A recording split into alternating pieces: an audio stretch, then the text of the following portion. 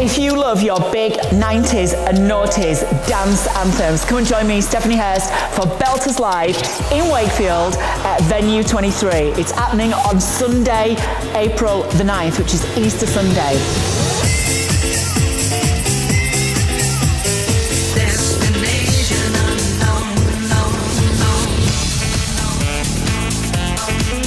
Get your tickets now if you love tunes like this. My lover's got no money,